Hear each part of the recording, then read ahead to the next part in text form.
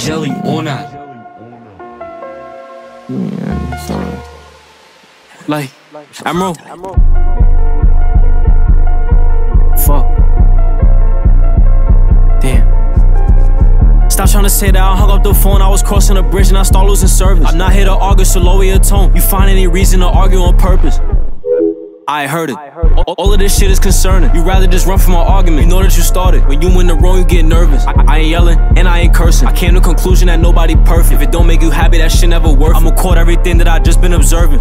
I don't know where you go through my text. You just wanna see if I talk to my ex. Scrolling through messages, one after next. You went through the group chat, bitch. I bet. The day that I asked, let me see who you texting your phone. You probably gonna think it's a threat. Your phone always on D and D when you get next to me. You been doing that shit since we met. Guilty, conscious. We talking some nonsense. I, am starting to see you obnoxious. Make comments about shit that you saw on my last bitch. Like I, I told you that shit only content. I could forgive, I, I could regret, but I'm not the type to just say I forgot shit. If it don't make you happy, what's the point? I really need to just learn how to stop shit. Like.